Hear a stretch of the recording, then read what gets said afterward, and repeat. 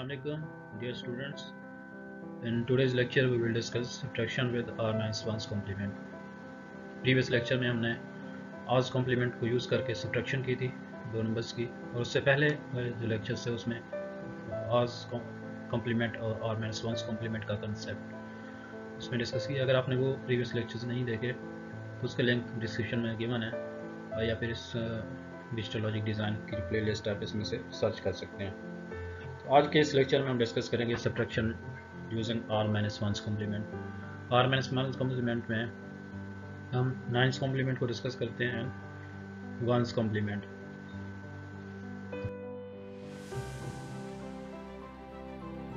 before going to numerical examples हम थोड़ा सा इसका बैकग्राउंड डिस्कस कर लेते हैं। कि बेसिकली डिफरेंस क्या है? डायरेक्ट मेथड में और और सब्ट्रैक्शन यूजिंग कॉम्प्लीमेंट्स तो इन दोनों मेथड्स हैं हम सब्ट्रैक्शन जैसे हम प्रीवियस क्लासेस में जूनियर क्लासेस में सब्ट्रैक्शन करते थे यूजिंग पेपर एंड पेंसिल तो वो इस रफली आप मैनुअली जो है उसको सॉल्व करना इजी है सब्ट्रैक्शन को उसमें हम बहुत सिग्निफिकेंट नंबर से हम बारो लेते हैं और उस तरीके से उसको उस नंबर को सब्ट्रैक्ट कर लेते हैं। लेकिन इन इन रियल डिजिटल सिस्टम डिज़ाइनिंग में, जहाँ हम डिजिटल जो कंपोनेंट्स हैं, उनको हम यूज़ कर रहे होते हैं जब हम सब्ट्रैक्टर्स डिज़ाइन वगैरह करते हैं। तो उसमें बारों का जो कंसेप्ट है, वो थोड़ा कॉम्प्लिकेटेड होता है। और वैसे भी जो सब्ट्रैक्शन प्रोसेस है, वो थोड़ा कंप्यूटर में प्रोसेसिंग के लिए इनएफिशिएंट होता है। तो उसको इनएफिशिएंट करने के लिए सब्ट्रैक्शन के लिए हमें अल्टरनेट मेथड जो हम यूज़ करते हैं। तो उसमें से जो कॉम्प्लीमेंट्स का कंसेप्ट है ये यूज़ होता है उसमें सब्ट्रैक्शन प्रोसेस को सिंप्लीफाई करने के लिए। तो इस में प्रीवियस जो लेक्चर था आर्स कॉम्प्लीमेंट को यूज़ करते हुए सब्ट्रैक्ट करना और इस लेक्चर में आर माइनस वंस कॉम्प्लीमेंट को हम यूज़ कर रहे हैं। तो इसमें थोड़ा सा डिफरेंस है। जस्ट इस केस में जब m ग्रेटर देन n होता है, उस केस में वहाँ पे आर्स कॉम्प्लीमेंट में जब एंड कैरी आ रहा होता तो हम उसको डिस्कार्ड कर देते थे। लेकिन इसमें एंड अराउंड कैरी का कंसेप्ट है कि हम उस कैरी को अगेन हम उस आंसर में जो फ़र्स्ट नंबर होता है, उसमें हम ऐड करते हैं। तो इसके हम एग्जांपल्स देखते हैं नेक्स्ट तो इसका प्रोसेस इस तरह से है। फॉर एग्जांपल हमारे पास दो नंबर हैं पॉजिटिव नंबर्स हैं एम एंड एन इनको हमने सब्ट्रैक्ट करना है। तो condition is that base should be same तो उन दोनों की जो बेस है या नंबर सिस्टम है, उन दोनों का सेम होना चाहिए दोनों या तो डेसिमल से हो या बैनरी से या कोई और नंबर सिस्टम लेकिन उन दोनों की जो बेस है वो सेम होना चाहिए। एक ही नंबर सिस्टम से नंबर्स बिलोंग करते हैं। उसके बाद जो फ़र्स्ट स्टेप आपने परफॉर्म करना है इसमें सब्ट्रैक्शन यूजिंग आर कम्प्लीमेंट में, आपने जो मिनिमम एंड एम है, जिसमें से आपने माइनस करना है एन जो है सप्रा हैंड नंबर है एन उसको आपने सब्ट्रैक्ट करना है एम से। तो आपने ये करना है एम को आपने वैसे लिखना है आर माइनस वन कॉम्प्लीमेंट लेना है एन का। फिर उसके बाद इन दोनों को ऐड करना है। ये फ़र्स्ट स्टेप इसके ऐड करने के बाद जो आपके पास आंसर आएगा, उसको आपने ऑब्ज़र्व करना है कि उसमें एंड कैरी आ रहा है कि नहीं आ रहा। अगर उसमें एंड कैरी आ रहा है तो add one to the least significant digit तो एंड कैरी को आपने उसमें जो है वन ऐड कर देना है लीस्ट सिग्निफिकेंट डिजिट में। उसके बाद, अगर एंड कैरी नहीं है आर माइनस वन कम्प्लीमेंट में तो आपने क्या करना है? अगेन उसी आंसर का आर माइनस वन कम्प्लीमेंट लेना है, और उस साथ नेगेटिव साइन उसका तो इसके हम एग्जांपल्स करते हैं। ये सारे पॉइंट उसमें अगेन रिपीट हो जाएँगे और आपको क्लियर हो फॉर एग्जांपल ये हम नाइन्स कम्प्लीमेंट लेते हैं। दो नंबर्स हमें गिवन है।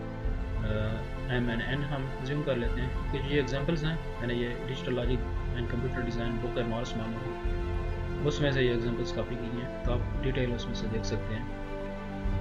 तो फॉर एग्जांपल ये एम जो है हमारे पास seven two five three two है, और एन जो है हमारे पास वो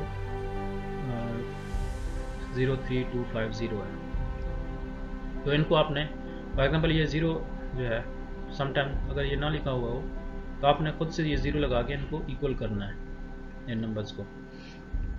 तो फ़र्स्ट स्टेप में आपने ये किया कि एम जो है आपको एज इट इज़ लिखना है यहाँ पे।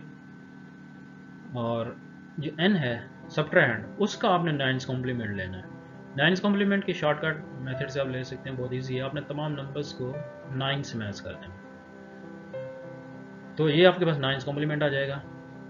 जब आपने इन दोनों को ऐड किया है तो इसमें एंड कैरी आया है। एंड कैरी जब आ रहा हो तो आपने क्या करना होता है? उसको आपने लीस्ट सिग्निफिकेंट डिजिट जो फ़र्स्ट नंबर होगा राइट इसमें ऐड कर देना है इसको। उसके बाद इसका फाइनल आंसर आ जाएगा आपके पास six nine two eight two अगर आप इन दोनों को डायरेक्ट माइनस करते हैं तो फिर भी ये सेम आंसर आएगा six nine two eight two और अगर जब आप एन का कॉम्प्लीमेंट लेके इस तरीके से एडिशन करके करेंगे तो फिर भी सेम आंसर आएगा। तो आप यहाँ से आइडिया हो जाता है कि आपने डायरेक्ट सब्ट्रैक्ट करेंगे तो फिर भी ये आंसर आता है। लेकिन हम यहाँ पे एक्चुअली एडिशन की हमने, लेकिन आंसर वो माइनस वाला है। तो इस, ये वो केस है जिसमें एम ग्रेटर देन एन है। एक सेकेंड ये भी हो सकता है कि for example M greater than N हो, जिसमें जिस नंबर से हम सब्ट्रैक्ट कर रहे हो, वो स्मॉल नंबर हो। तो उस केस में ये होता है कि हम उसमें से एक्चुअली माइनस करके उसके साथ नेगेटिव साइन लगा देते हैं। फॉर एग्ज़ाम्पल हम, हमारे पास थ्री प्लस माइनस फोर वो हमारे पास। तो हम क्या करते हैं? फोर माइनस थ्री करते हैं, लेकिन उसका नेगेटिव साइन आ जाता है। तो हम उसी एग्जाम्पल्स को ही इन्वर्ट कर लेते हैं, जो एन था उसको एम कर देते हैं, जो एम था उसको एन की वैल्यू साइन कर देते हैं। तो आंसर वही होएगा। सजा सौ नेगेटिव आ जाएगा। तो सेम प्रोसीजर हम फॉलो करते हैं। अब इस केस में एम की वैल्यू हमारे पास ये है zero three two five zero और इस तरीके से नाइन्थ कॉम्प्लीमेंट ले लेंगे हम एन का। और एन इसमें से नाइन में से माइनस कर देंगे ये सारे वैल्यू नंबर्स तो हमारे पास ये नाइन्थ कॉम्प्लीमेंट आ जाएगा एम का। इन दोनों को ऐड करेंगे तो इस केस में हमारे पास कैरी नहीं है। कैरी नहीं है तो उसका मतलब हमने इसी आंसर का जो आंसर है ये हमारे पास एडिशन करने के बाद, उसका अगेन नाइन्थ कॉम्प्लीमेंट लेना है और उसके साथ नेगेटिव साइन यूज़ करना है तो हमारे पास ये आंसर आ जाएगा सीधे तो इस तरीके से आप नाइन्स कॉम्प्लीमेंट को यूज़ करके सब्ट्रैक्शन कर सकते हैं। दोनों केसेस में, जिस केस में एम ग्रेटर देन हो या एम लेस देन एन तो नेक्स्ट हम चलते हैं सब्ट्रैक्शन यूजिंग वंस कॉम्प्लीमेंट के एग्जांपल्स की तरफ़? सेम है, वही प्रोसीजर है। जस्ट इसमें ये है कि आपने फॉर एग्जांपल ये एम हमें गिवन है एन भी एक नंबर गिवन है बाइनरी नंबर्स में क्योंकि ये वंस कॉम्प्लीमेंट है तो ये बाइनरी नंबर सिस्टम से बिलोंग करता है तो इसमें आपको बाइनरी वैल्यूज़ गिवन होंगी सब्ट्रैक्ट करने के लिए। तो एम को आपने वैसे लिख दिया जहाँ पे इसमें से वंस कॉम्प्लीमेंट ऑफ़ एन तो इसका ये आंसर आएगा। वंस कॉम्प्लीमेंट में हम क्या करते हैं? तमाम बिट्स को इन्वर्ट कर देते हैं सिंपली तो इसको जब हमने ऐड किया तो इसमें एंड कैरी आ रहा है। एंड कैरी को हमने लीस्ट सिग्निफिकेंट डिजिट या इस नंबर का उसमें ऐड कर देना है आंसर के तो ये फाइनल हमारे पास ये आंसर आ जाएगा।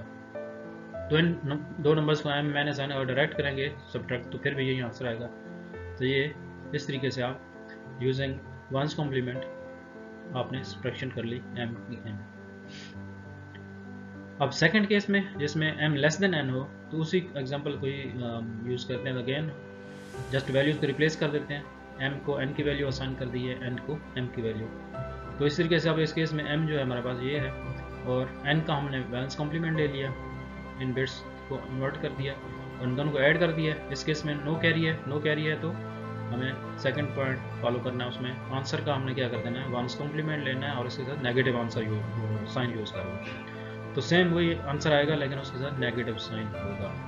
तो इस तरीके से आप वंस कॉम्प्लीमेंट यूज़ करके सब्ट्रैक्ट कर सकते हैं किसी भी दो, दो नंबर्स को। तो इसमें जस्ट यही डिफरेंस था।